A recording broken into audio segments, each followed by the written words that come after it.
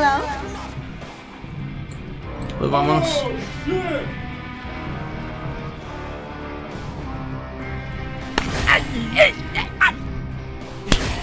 Holy shit.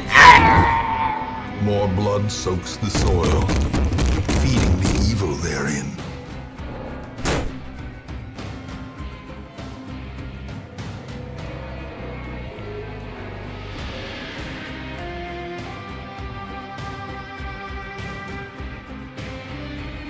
Hey, hola, saludos y buenas tardes, extraño. En este bonito y cálido día quería hablar sobre la clase del Darkest Dungeon que en mi opinión es la más fuerte si se usa correctamente y es la Anticuaria. Ahora, a primera vista no podrá parecer muy fuerte para ti o para cualquiera, y yo entiendo, eso es una ilusión óptica. Eso es porque tendemos a fijarnos en cosas más evidentes a simple vista como qué tan fuerte pega un héroe o cuánto podría aguantar en situaciones difíciles. Y ahí es donde se desperdicia el potencial que tiene la clase. Su especialidad, como todos saben, es el dinero, la quita, el money, los pavos, como sea que lo llames, la anticuaria te lo consigue por debajo de las piedras, pero es una inútil en combate. Y no es culpa de ella, había que tener un desperfecto. Es el héroe con el gran título de ser quien menos daño y resistencia tiene del juego, pero ella intenta con todas las ganas para ser destacada. Ella respira dinero y aunque sea complicado darle el uso óptimo para que se note la diferencia, te garantizo que una vez que lo intentes se va a ver una montaña de gemas en tu cuenta de ahorros.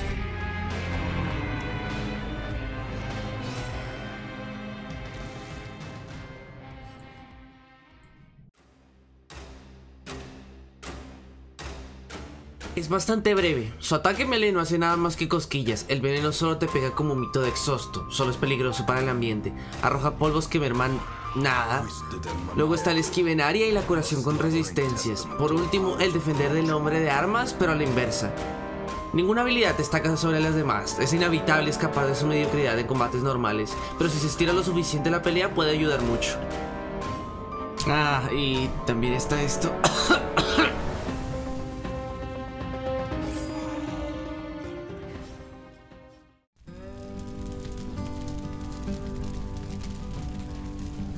Las habilidades de acampada son muy baratas y son una pequeña apuesta cada vez que se usan. Si tienes suerte vas a conseguir cosas muy buenas o humildes servilletas. La anticuaria tiene habilidades de verdad acá. Empecemos por las más importantes. Curious Incantation. Quita la mitad de todo el estrés y es una habilidad buenísima por el potente efecto que da y el bajo costo. Viene bien para equilibrar el castigo por usar a valores que den estrés o usarlo solo para que ella está lista para ser preparada para la siguiente misión. Quiero poner estos dos a la vez porque se tratan de lo mismo en realidad. Por precios bastante bajos pueden apostar a que te toquen a valorios o provisiones útiles para la aventura. Y en el peor de los casos, solo lo vendes o lo tiras a la basura donde pertenece por fallarte.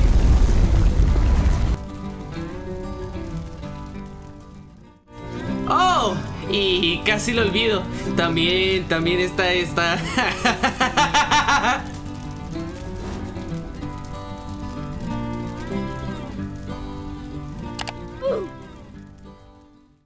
Eso se parece al destupidor de inodoros que boté ayer. Eso no es un destupidor de inodoros. Esto es una antigüedad. Es... eh, em, es un cucharón de sopa del siglo XVII, ¿ves? Cielos, estaba usando mal el mío. ¿Cuánto? Cinco dólares. Solo tengo siete. Hecho. Patricio Estrella, eres un comprador muy listo.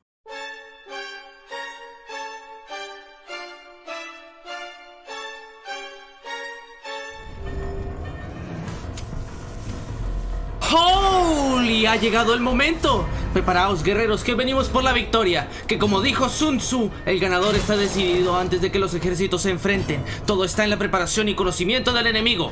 Hay dos enfoques para sobrevivir esta escaramuza. La anticuaria está para la sinergia con los aliados o ser un portador de la doctrina egoísta. Se convertirá en una papa que no haga nada para estorbar ni para ayudar. A esta altura no nos importa más si tiene stats malos. Va a pelear y por lo tanto necesita combos potentes. Veamos algunos ejemplos.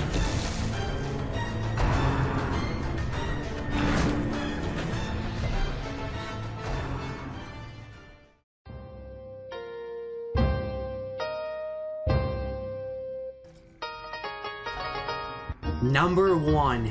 El choro. Simple y directo. Como cuando presionas XXX en cualquier juego de pelea. Destripa el que se deje pegar por pendejo. Number 2. El Wilbur. Tira los vapores ulcerantes y es que tu asaltatumbas o tu médica de plagas hagan el resto. Una ganará daño extra y la otra tiene garantizado pegar el veneno de verdad por la merma que tiene. La sinergia con la abominación es de tier bajito. Algo harán, claro, pero no es nada destacable. Number 3. El ninja. Arrojas tu pólvora del chino para quitarle precisión a los enemigos de estrés principalmente. Luego spamea los vapores vigorizantes por el esquive del grupo. Es una manera de ayudar mucho sin un solo gramo de daño. También sirve muy bien para las posiciones de enfrente porque tienden a tener peor puntería que las posiciones de atrás. Así que dependiendo de lo que te falte, le arrojas arena que quieras. Number 4. La papa. Usa esta habilidad y luego agregue vapores y defensas al gusto. La teoría es simple en este combo wombo. No la deberían tocar, pero eso tiende a provocar que le peguen al resto porque no la van a poder atrapar los enemigos con habilidades normales. Es el combo que yo menos uso y por lo tanto menos conozco. Hay que encontrar ese balance entre ayudarse a sí misma y en no dejar a los demás comiendo tierra.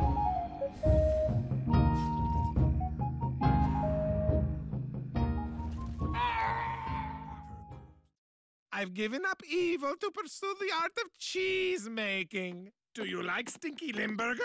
It's a Doofenshmirtz family recipe. it's not ready yet. It still has to age for 58 and a half years. But who's got that kind of time? Which is why I created the Age Accelerator Inator.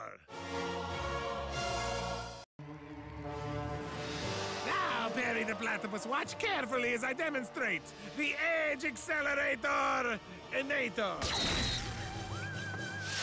Hooray! It works! And now to make some perfectly aged cheese! ah, perfect! You can actually see the pungent aroma. Here you go, Perry the Platypus. But I'm warning you, once you start, you won't be able to stop. I'll go get some crackers. We're in luck. I still have some leftover Melba. Whoa! Whoa, no! The cheese! What happened to the stinky cheese? Harry the platypus, you ate all the cheese? No! I created this for peaceful, cheese-loving purposes, but now you're forced to... Begone, fiend. A time to perform beyond one's limits.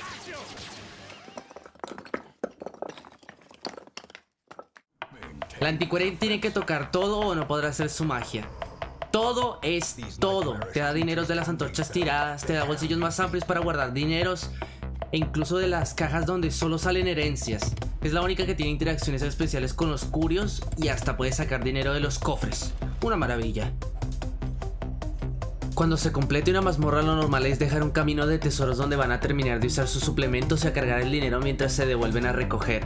Si es tesoro que está concentrado en alguna parte, apagas la luz completamente y así tienes dinero gratis. De ahí en adelante llegamos a las apuestas peligrosas, como interactuar con los tomos y libreros de las ruinas. En ese caso vamos a usar la habilidad santa y bendecida por los mismísimos dioses para tanquear cualquier posible estrés. Diarios donde también nos den dineros y empezar a buscar buenos rasgos para la anticuaria porque la probabilidad de uno bueno y uno malo son iguales. Si no va con una médica o asalta tumbas, ni ella debería tocar los cuerpos por lo fácil que sería enfermarla y perder una semana curándola en vez de que siga siendo esclavizada. No se puede hacer nada más en las mazmorras, la verdad. Fue algo cortito, pero es lo que hay.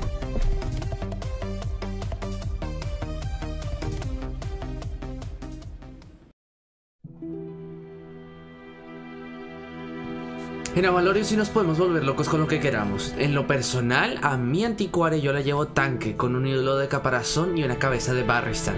Así le van a pegar, pero puedo esperar varios turnos hasta que tenga la necesidad de curarla.